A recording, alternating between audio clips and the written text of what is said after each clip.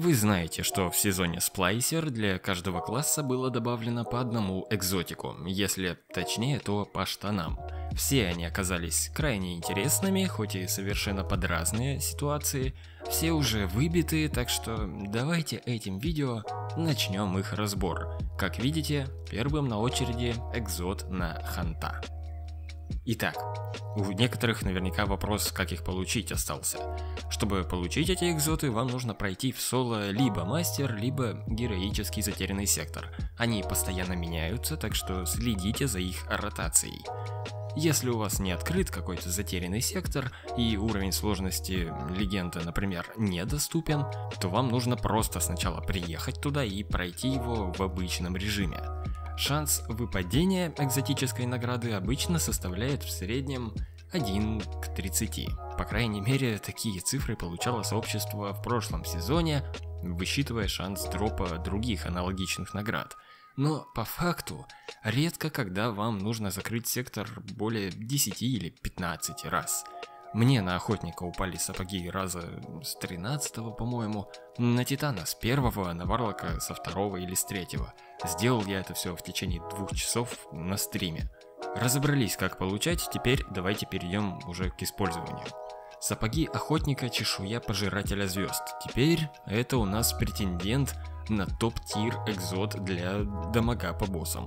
На любом рейде, на любом данже и так далее, этот экзот поможет вам с помощью супера внести больше урона, чем, например, выстрел с экзотом Звездный Полуночник, или чем вносят э, электрические титаны с керасой падающей звезды.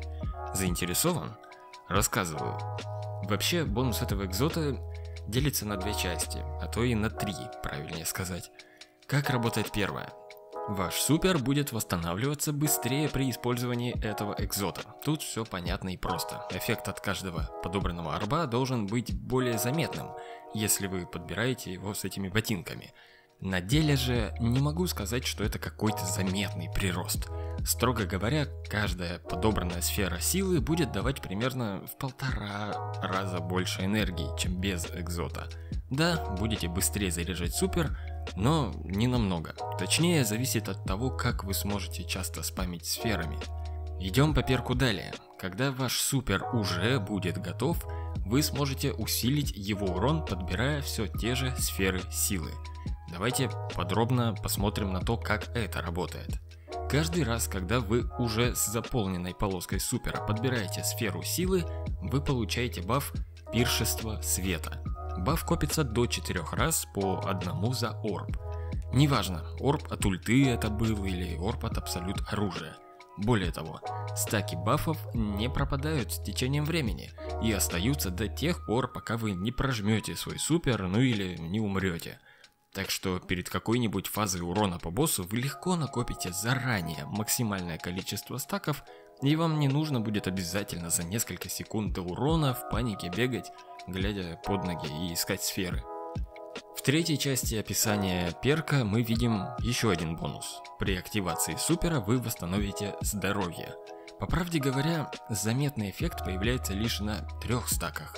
В этом случае восстанавливается около половины здоровья, а на четырех стаках вы не только полностью восстановите здоровье, но еще и получите дополнительный щит. Так что лучше копить до четырех. Теперь про урон и про то, как на него влияет количество стаков. Логично, что бонус к урону будет расти в зависимости от того, сколько арбов вы подберете. При накоплении 4 стаков урон увеличится на 60%. Для того, чтобы продемонстрировать эту разницу, вот дамаг по Калли из Голден Гана Сначала без экзотов, потом со шлемом Звездный Полуночник, а потом с новыми сапогами и стаком X4.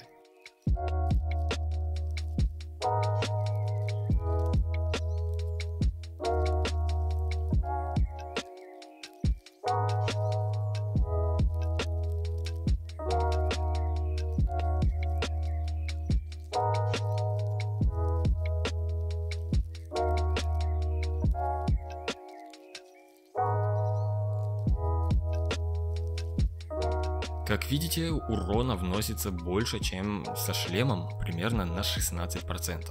Так что теперь наш любимый клюв уходит на второй план. Но даже это еще не все. Очень интересные дела творятся, когда вы используете этот экзот и связку верхней ветки ночного охотника. Дебаф, который вешает стрела на врага без экзота, увеличит урон по цели на 30%, но с экзотом и четырьмя стаками на 108%. Еще раз, 108% к урону с любого оружия. Это очень круто, но, как всегда, есть одно но. Столь существенный дебаф ловите только вы, как носитель экзота. Ваши союзники получат лишь стандартный 30% баф. Так что на фазе урона по какому-нибудь боссу назовем его Атеон. Если вы даете стрелу, то наибольший урон внесете только вы. Конечно, если в вашей команде нет другого охотника со стрелой и с этим экзотом. В таком случае каждый может дать связку по одной цели, и каждый получит для себя плюс 108% к урону с оружия. А это уже серьезная разница. Добавьте сюда баф от купола оружия света и мод мощи Распутина. И вот вы уже в соло получаете увеличение урона на 208%, что невероятно сильно. Очевидно, что этот экзот точно пригодится на рейдах. Я буду пробовать его на хрустальном чертоге и почти уверен, что он пригодится, поскольку если до того, как я затестил этот экзот, я был уверен, что на рейде в очередной раз ханты окажутся бесполезными, то теперь все развернулось ровно наоборот. И ситуация напоминает то, как в том сезоне все брали титанов с керасой на дамаг. Так что, да, я определенно советую каждому охотнику, который ходит в рейды, сумрачные налеты и подземелья, выбить этот экзот из затерянного сектора. Спасибо за просмотр и подписку. До связи.